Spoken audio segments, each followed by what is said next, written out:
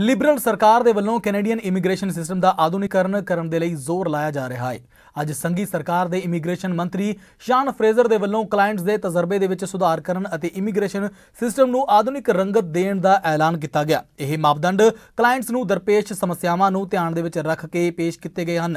ਇਹਨਾਂ ਰਾਹੀਂ processing system ਦੇ ਵਿੱਚ ਵੀ ਸੁਧਾਰ ਕੀਤਾ ਜਾਵੇਗਾ। ਉਹਨਾਂ ਆਖਿਆ ਹੈ ਕਿ ਮਹਾਮਾਰੀ ਕਾਰਨ ਸਾਡੇ ਕਈ ਹੁਨਰਮੰਦ ਅਤੇ ਸਕਿਲਡ ਨਿਊਕਮਰਸ ਨੂੰ ਲੰਮੀ ਉਡੀਕ ਕਰਨੀ ਪਈ। ਇਨਕੋਮਿਮ ਐਂਡ ਫਿਜ਼ੀਕਲ ਅਪਡੇਟ 2021 ਦੇ ਵਿੱਚ ਅਰਜ਼ੀਆਂ ਦੀ ਪ੍ਰੋਸੈਸਿੰਗ ਵਿੱਚ ਹੋਣ ਵਾਲੀ ਦੇਰੀ ਨੂੰ ਘਟਾਉਣ ਦੇ ਲਈ ਕੈਨੇਡਾ ਸਰਕਾਰ ਦੇ ਵੱਲੋਂ ਨਵੇਂ ਫੰਡਾਂ ਵਜੋਂ 85 ਮਿਲੀਅਨ ਡਾਲਰ ਦਾ ਪ੍ਰਸਤਾਵ ਰੱਖਿਆ ਗਿਆ ਹੈ I, I'd like to reflect uh, to open things on the fact that, with the exception of Indigenous peoples, everyone in Canada has an immigration story somewhere in their past.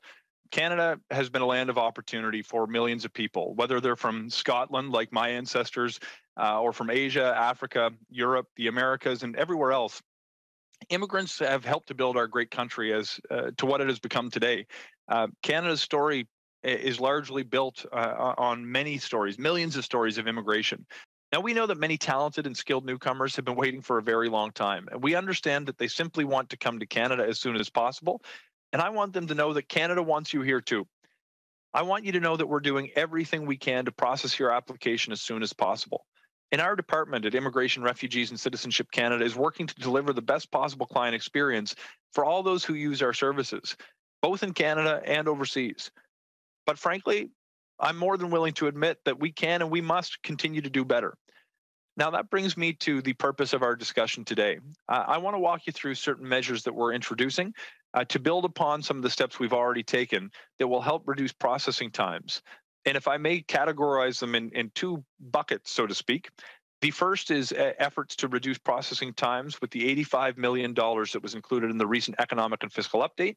The second is new functionalities that have recently come online or will be coming online soon as part of our effort to transform Canada's immigration into a modern and digital platform.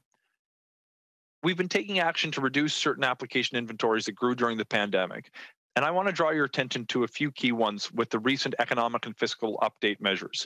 There are specific lines of business that we want to be targeting. Let me start with work permits. In my conversations with Canadian businesses and the organizations that represent them, they say it's incredible that we've seen such a strong economic recovery to date with more people working today in Canada than were working before the pandemic. But there's also a major labor shortage. And we want to make sure that we can get our workers here on time. As a result of the investments in the economic and fiscal update and other measures, we expect to see work permit processing times return to the service standard this year, potentially sooner.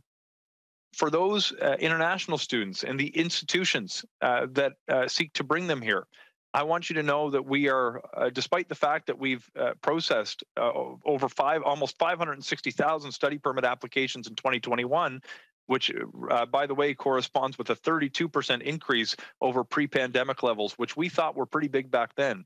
We're going to be putting additional resources to get the study permit processing times back to our service standard this year in hopes that we can get as many students here on the schedule they need to complete their uh, academic uh, programs. Uh, we also are going to be making sure that we're putting additional resources to reduce processing times for temporary visitors to Canada.